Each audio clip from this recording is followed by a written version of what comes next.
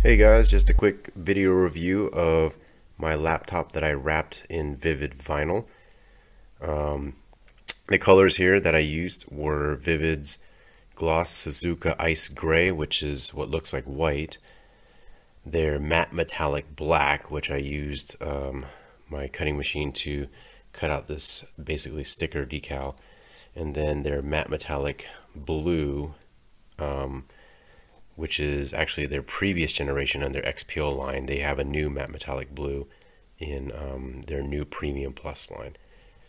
So I wrapped my laptop actually a few months ago now, and it's holding up really well.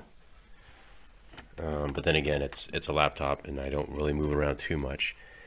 So as you can see around the corners, I had moved, uh, put the stickers around the edges there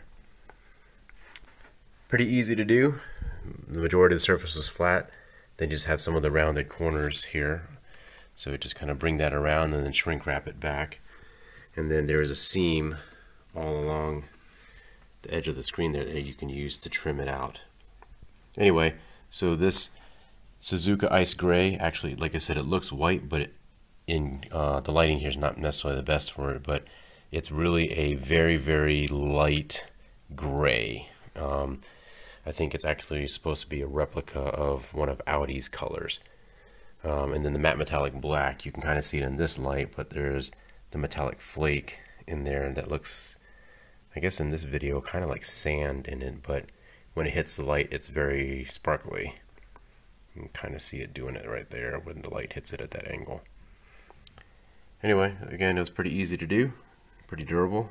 Adds a quick and easy way to add a really cool look to um, your laptop or anything really like a gaming console, your phone, whatever.